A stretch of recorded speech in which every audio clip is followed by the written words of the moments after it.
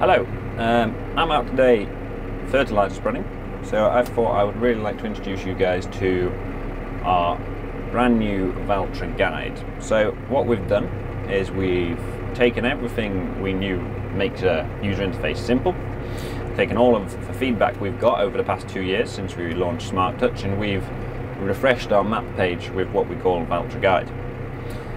As you can see there's only one button here now, so there's the auto steering button, press that and you go straight to the map page.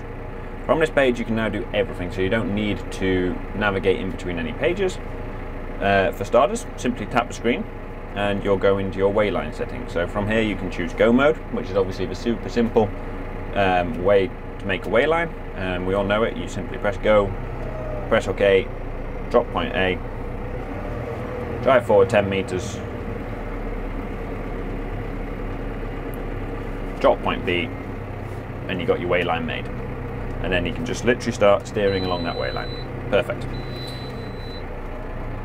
Then you've also got advanced mode. So with advanced mode, we can create fields and create field boundaries, um, depending on how we'd like to do it. So um, if you want to create a boundary, simply choose which side of the track you'd like to start recording on. I'm going to choose the right hand side. Press record. Start driving. It's really that simple. So while we're recording this boundary, um, I can also record a wayline at the same time. Simply press a new wayline. I'm going to do an AB, straight AB. Let's go. At least 10 meters. I'm going to drive the length for this field edge here, um, which is quite a long run. Um, and then we'll make the wayline at the end, and then we have the wayline. So I'm coming up to the end of the run right now. I'm just going to stop recording the wayline, so simply press point B, now I can give it a name, so I'm just going to call it East Edge. And now I've saved that wayline. And now I'll continue saving the boundary. So as you can see, I'm up to the end of the field. I'm just going to hit save on the boundary. Boundary is now recorded. You can adjust your headland width here from the menu, so you can choose 24 for example today. I'm doing a 24 meter wide headland. And then there you have it. You've now made your field and your waylines with your boundary. So I'm going to start spreading now. So what I'm going to do is I'm just going to open up the maps page so I can turn on section control and select my waylines. Um, first of all, you'll notice that we're now on the uh, driving display screen. So something which you can now do is if you double tap the display, you will now go to the settings menu directly. So no need to navigate for any extra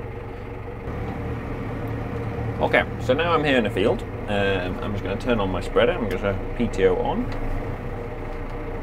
Engine revs on, and I'm going to hit start on the spreader. I'm using today Smart Touch Extend, so I have my Isobus implement up on the right hand side. Now, all I need to do now is start driving. I have auto guidance turned on, and as I get to the row, I'll turn on the auto guidance, and off we go. You'll also see that the spreader will start spreading fully automatically for me.